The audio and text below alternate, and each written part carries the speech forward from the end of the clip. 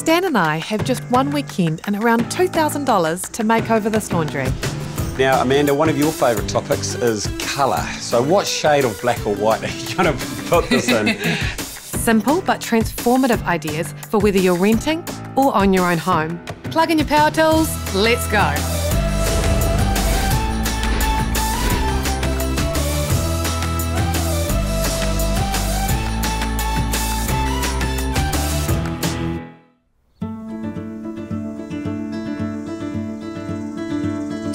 So Stan, here we are in a laundry and these places get a fair bit of wear and tear. That doesn't mean we need to compromise on the design or the function. Well, you're exactly right. Everyone spends all their money in the kitchen and in the bathroom, right? So the laundry really is an afterthought because it's sort of tucked away in an area of the house that no one sees. There's definitely a few things we can improve here, Stan. Where do we get started? One of the biggest things is the dryer, but it's not ducted to the outside. So you've got all that moisture coming into the house. So one of the first things we'll do is get that ducted to the outside.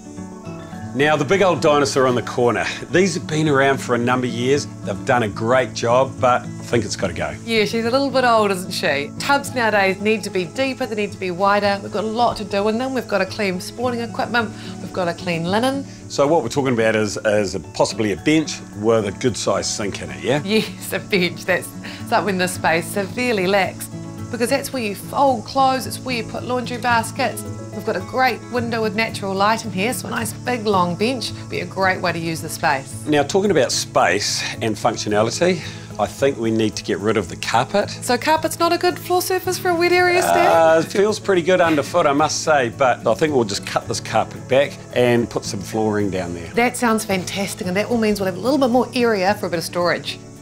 It's a laundry space, but it doesn't need to be boring. Personality is just the thing this space needs, and we can do that with a little bit of colour. I think we can inject a little bit of the homeowner's personality in here while still making it a vibrant, bright and exciting place. Well, Amanda, as they say in the trade, time is money and the clock is ticking.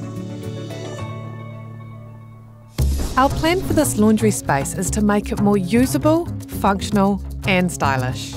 Big picture, we'll pull up the carpet and lay down a vinyl plank flooring.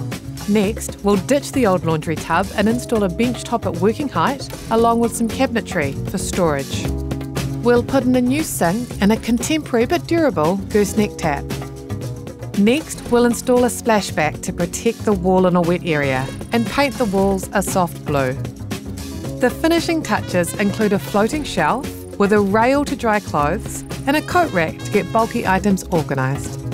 Together, these affordable changes will completely transform the space, creating a practical yet modern laundry for the homeowners.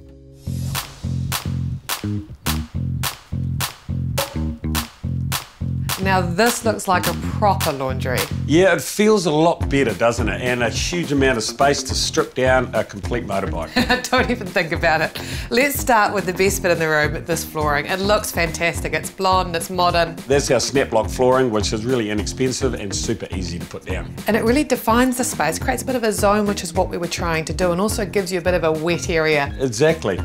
Now, Amanda, a part of our brief was to create a bigger work surface, which I think we've done quite nicely with this bench top. Straight off the shelf, three metres long. That matches in really nicely with the flooring you've chosen, got that wood grain effect. Now, supporting that bench top, I've bookended it with a couple of cupboards. Cupboards are essential in a laundry because there's so much mess you want to tuck behind these doors.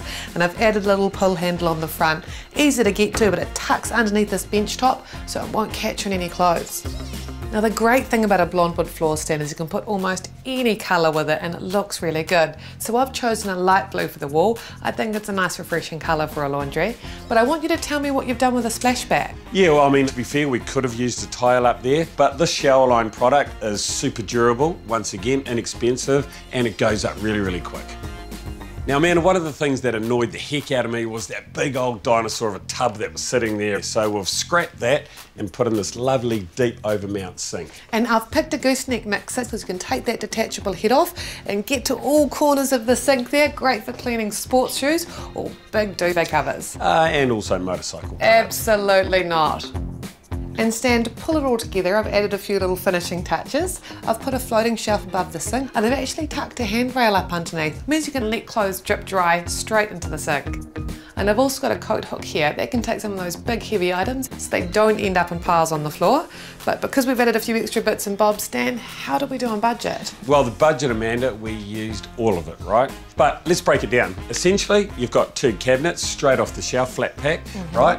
And a bench top to go on top. Spend a little bit of money on a sink and a mixer, but for the amount of money we've spent in here, it's going to add a huge amount of value to the space and it looks absolutely sensational. It really does, and it looks amazing. They're going to have a lot more fun doing laundry than they were before. It's going to make doing the laundry a lot less painful.